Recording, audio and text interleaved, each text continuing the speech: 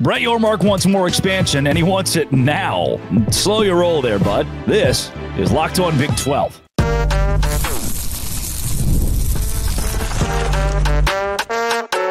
You are Locked On Big 12, your daily podcast on the Big 12 Conference, part of the Locked On Podcast Network.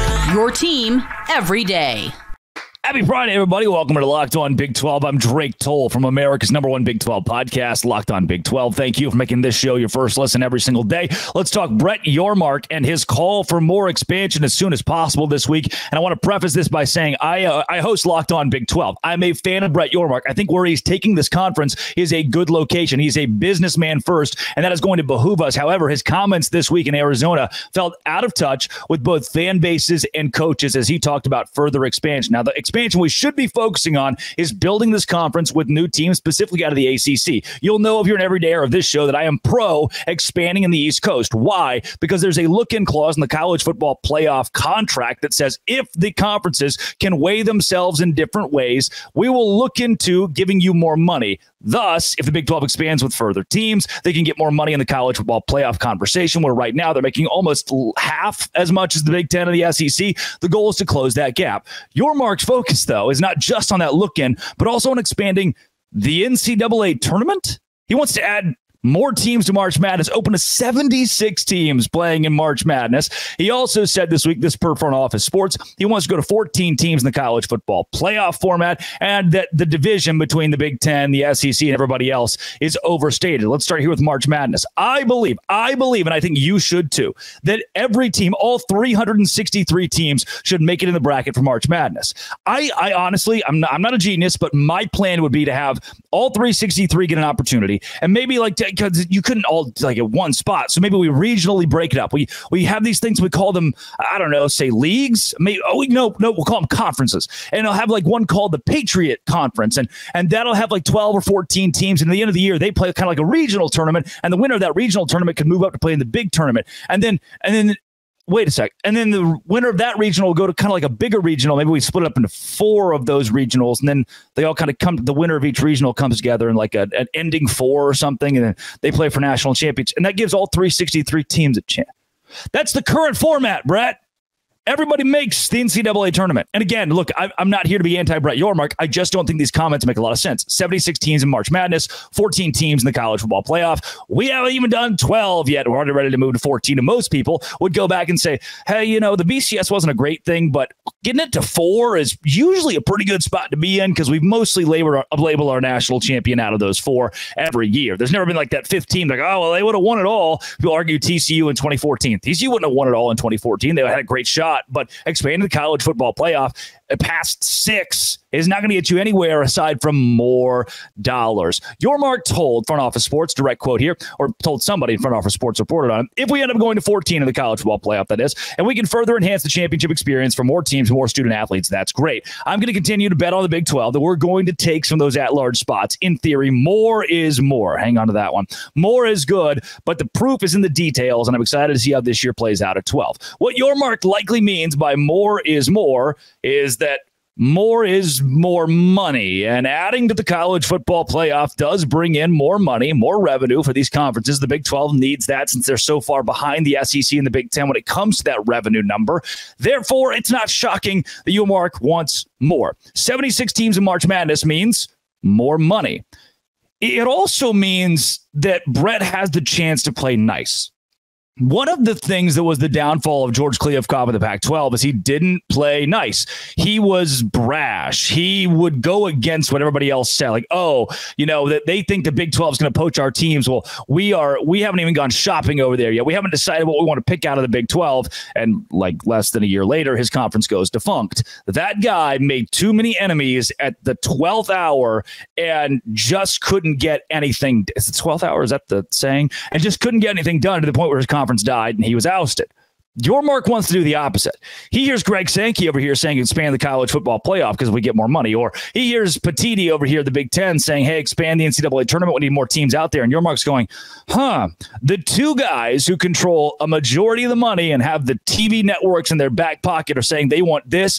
I should probably also want that if he comes out guns blazing with rhetoric that is different from other commissioners or that pushes against the powers that be in college athletics, he puts himself in a bad spot. Right now, it feels like Phillips over there, Jim Phillips at the ACC, they're kind of doing that. They wanted to have this super ultra basketball conference and it didn't work out. And then they really couldn't get the whole thing nailed down with their ESPN contract. They're being sued by this guy and this guy and this guy. And now they're going to reveal the ESPN contract to Clemson and they're going to be able to see it. Like they signed on to this thing without ever actually laying their eyes on it. And that's going to be the true downfall of the ACC. Yormark's just saying, hey, look, if I can say the right things, businessman, if I can say the right things right now that align with where the money is, then maybe I can get out of this thing for the next couple of years and truly have a better opportunity to expand our conference. Because again, the number one goal of the Big 12. Brett Yormark asked for a look in clause with the college football playoff that says if you are weighted differently, if you have more teams, if you are more valuable within the next three years, we will give you more money. We will change the scale at which we pay these conferences. So Yormark's thought process is play nice for a bit. And maybe that rhetoric, again, does not match your conference coaches, your conference fans. But you know what? At the end of the day, it's pretty good for saving face on the big scale. And maybe that's okay. So while I disagree with Yormark, while these comments feel completely out of touch. And you're probably saying more expansion of the college football playoff, more expansion of the March Madness NCAA tournament. That sucks. I hate that. Aren't we good where we are? Maybe he agrees with that deep down.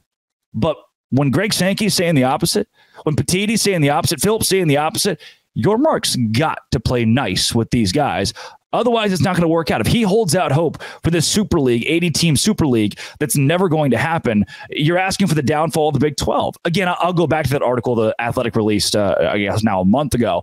It didn't really mention much about the ACC. The Big 12, the Big 10, and the SEC are vehemently against this Super League because it goes against their properties, their, their friends, Fox and ESPN, of which they are properties of. The ACC was kind of like, uh, sure, whatever. Uh, okay. And that's not good you want to be staunchly for or staunchly against where the money is. Whatever ESPN tells you to do today in college football, that's what you do. We're, we're not in like the point the finger and blame that guy. Like, oh, that guy's an idiot. No, no, no, no. He's he's probably just doing what ESPN wants him to do. He, he's probably just doing what Fox wants him to do. And Yormark here with that look in provision and the distribution deal in 2028 is doing good is doing good. Yormark did say again, per front office sports, having that look in made sense for a lot of different reasons. I certainly wasn't happy with distribution. I guess you could say in some respects I was satisfied. It was fine, but certainly not happy about it. Again, great business, man. Did I love it? No. Did I hate it? No. Was it fine? No. Was it fine? Yeah. And I don't think our ADs or our coaches are either, but we're going to continue to invest for the right reasons. Yormark's on a good spot. I like Brett Yormark. These comments kind of suck, but again, we got to play nice. We're with the cool kids at the cool kids table, so we're we're gonna we're gonna we're the fourth mean girl or third mean girl, however many there were. We're gonna stay in that little crowd, and I'm okay with that. Um, yeah, thanks, Brett. I love you. Uh, today's show is brought to you by Monopoly Go. Look, I'm a competitive guy. You're probably a competitive guy too. Do you want to beat me? You can't. You cannot. At Monopoly Go is where I go. I play the old fashioned Monopoly game that I still love, but I do it mobile, mobile. Wherever I go, I can play Monopoly on the go. That's right. Unique stickers. You can trade with friends, to compete for albums and big prizes. Cool new playing pieces to travel the boards with. Hilarious emojis for taunting your friends when you smash their buildings or heist their vaults. Plus, Monopoly Go feels new and exciting every day, constantly changing tournaments and challenges. A ton include their own unique mini games, like digging for treasure or a robot pachinko machine. And there's always new timed events that help you win big, like massive multipliers for everything you win or rent frenzies. There's always something fun to discover at Monopoly Go. Go set off the bench, get off the bench, download it on Google Play or the Apple Store today. Game on with Monopoly Go. Thanks for watching today's mini show. Brett Yormark, I love you. Ah, good to see you, friend. Hope you're doing well out there. Everybody else, thanks for a great week. Another great week Locked on Big 12. Uh, may the Big 12 live forever. And the people that are like, oh, I hate realignment. I do too. I hate that it's killing college. I hate that we're not going to be able to see here in a couple years, you know, like NC State, North Carolina be a conference game. That's not fun. But I do like the idea of the Big 12 surviving. And that comes with adding some more ACC teams. So we're going to keep on that hypothetical train because boy, howdy. Again, in like the survival of the fittest thing, Or is that Darwin? Is he the one that did that? Um, yeah, I think so, right? The Big 12's got to do what it's got to do to stay like relevant in college football. Today, that's just like making dollars. So you got to go pick up expensive or valuable properties. I think it's what Yormark's going to do. Unlocked on. Thanks for making it your first listen every single day. Dose Grande.